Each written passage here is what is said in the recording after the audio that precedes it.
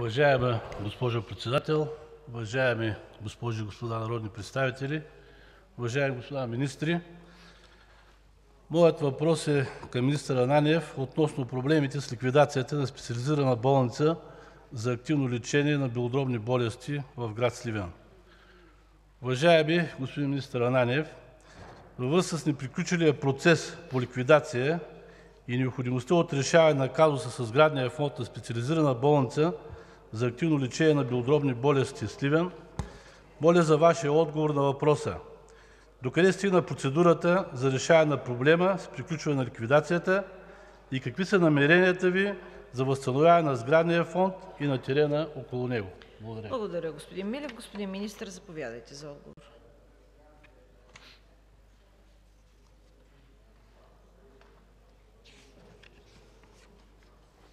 Уважаема госпожо Председател, уважаеми госпожи и господа народни представители! Уважаеми господин Милев, с решение на едноличния собственик на капитала на Специализираната болница за активно лечение по белодробни болести – Сливен, от 2010 г. дружеството е прекратено чрез ликвидация. Процесът на ликвидационната процедура е затруднен по няколко причини: липса на парични средства в дружеството, безстопанствено отношение към имуществото и документацията на дружеството от страна на първоначално определените лица за ликвидатори и липса на активни действия от тяхна страна за довършване на процеса на ликвидационната процедура. За тези обстоятелства е подаден сигнал в прокуратурата от ликвидатора, който е назначен след освобождаването на предходните лица, и е образувана прокурорска преписка на Районната прокуратура – Сливен, във връзка с неправомерни действия по ликвидационната процедура. Преписката е приключила с постановление за отказ да се образува досъдебно производство. Министерството на здравеопазването е предприело действия за смяна и избор на нов ликвидатор с цел ускоряване и успешно довършване на ликвидационния процес. Новият ликвидатор е вписан по партида на дружеството в Търговския регистър на 29 януари тази година. Болницата е собственик на 38 броя сгради. Налице са действия от страна на община Сливен по обследване и издаване на предписания за сградите, тъй като същите са в лошо състояние поради липсата на средства в дружеството за стопанисването им и поради това, че процесът на ликвидацията продължава в един значителен период.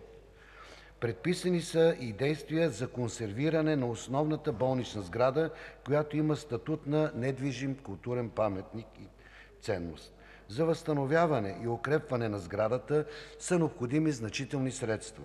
Министерството на здравеопазването не предоставя целеви капиталови средства по смисъла на чл. 100 от Закона за лечебните заведения на дружества, които не осъществяват лечебна дейност.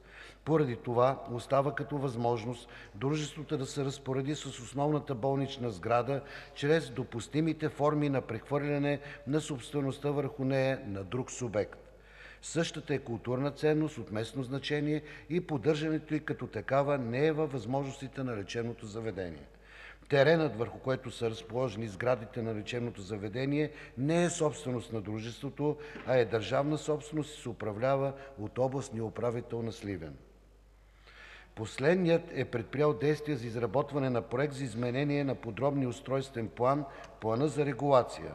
Проектът за изменение е с цел разделянето на имота, обособяването на по-голям брой урегулирани поземлени имоти и смяна на предназначението им от за болничен комплекс в по-общо отреждане, позволяващо обществено обслужващи дейности и жилищно строителство. При проверката на РЗИ – Сливен, е установено, че в дворното място, прилежащо към територията на болницата, са налични множество ями с неизвестна форма, конструкция и използвани материали за изграждането им, в които в миналото са загробвани опасни отпадъци, биологични материали и други.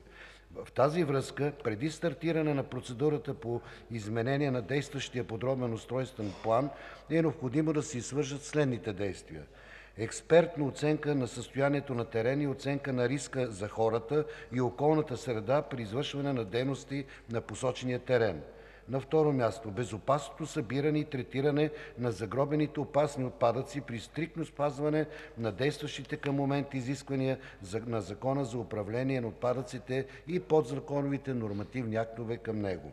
И на последно място, последващо третиране и обеззаразяване на използваните за загробване на опасни отпадъци терени.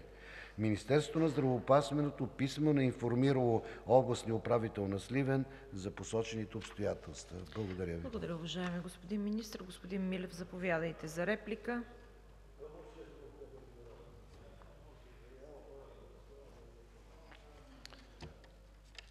Уважаема госпожо Председател, уважаеми колеги народни представители! Уважаеми господин Министър, благодаря Ви за подробния отговор, но все пак тази сага продължава. Тя е от 10 години – 2010 – 2020 г., и както виждате, възникват много проблеми, даже във връзка и с други министерства.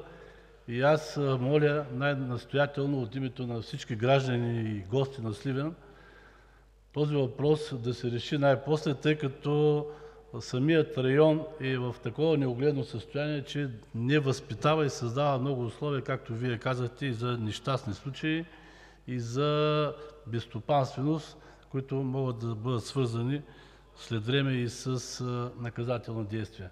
Така че вярвам във Вашето отношение по въпроса и най-после той да се реши. Благодаря. Благодаря, уважаеми господин Милев.